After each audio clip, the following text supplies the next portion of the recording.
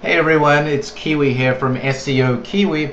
Wanted to shoot this quick little video to document some really cool stuff I've been doing with SEO for video um, to help drive traffic and sales for my clients.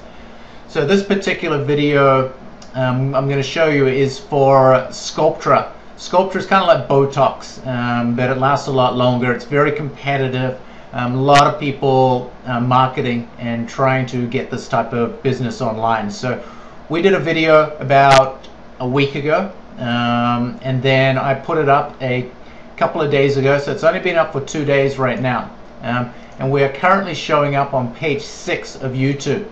Okay so today is Thursday September the 8th of 2011 so I'm going to go ahead now and start my SEO um, and then reshoot another video and hopefully um, you know 30 days from now um, I can show you results where we'll be towards the top of the first page and beating out people who have had videos there for you know two to three to four years and may have hundreds of thousands of views. So stay tuned for video number two. Thank you